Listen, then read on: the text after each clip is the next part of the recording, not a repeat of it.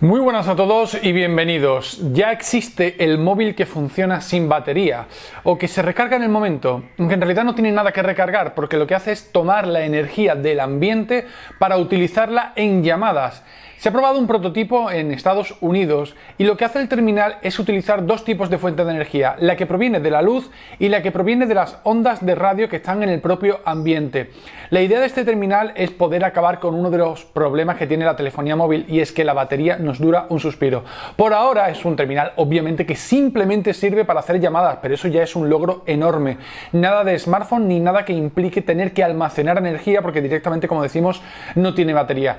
Sin embargo, puede ser este un inicio para una tecnología que puede cambiar la forma que tenemos de usar muchos dispositivos, sobre todo los que llevamos encima. Pensad no solo en la telefonía móvil, sino también en otras cosas como por ejemplo pulseras inteligentes, relojes, prendas de vestir que se puedan cargar simplemente porque están en contacto con la luz solar o porque hay ondas de radio en el ambiente que nosotros no percibimos, pero hay algunos aparatos que sí.